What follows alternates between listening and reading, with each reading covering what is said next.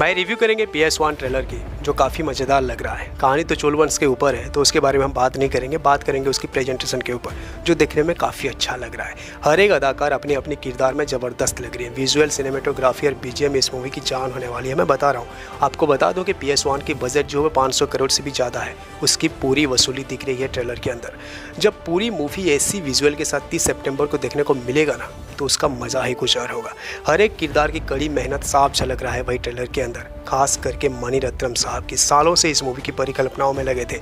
उनकी dream project थी ये मूवी और सच बताऊँ तो सपनों की तरह सजाए हैं इस मूवी को। ट्रेलर देख के खास महसूस हो रहा है। मूवी की सिनेमेटोग्राफी सबसे ज़्यादा खतरनाक होने वाली है। हर एक एंगल से मूवी ज़बरदस्त होने वाला है। और ऐसे जानदार सिनेमेटोग्राफी के बीच जब ए आर रहमान सर की दिल दहलाती बीजीएम गूंजेगी ना तो तूफ़ान मचना तय है। चिया विक्रम, जयम रवि, कार्ति, त्रिशा, अस्प्रया राय बच्चन, ऐसे कलाकार हैं तो हर एक कैरेक्टर की एक अलग मायने होंगी, ये बात तो तय है। सपोर्टिंग किरदार में भी प्रकाश राज, जयराम, प्रभु, शरद कुमार सोभिता धुलिपिया और भी कई सारे दिग्गज कलाकार के बीच ये मूवी बहुत ही ज़बरदस्त होने वाला है। क्या आप एक्साइटेड हो इस मूवी के दर्शन के लिए? ज़रूर कमेंट करें।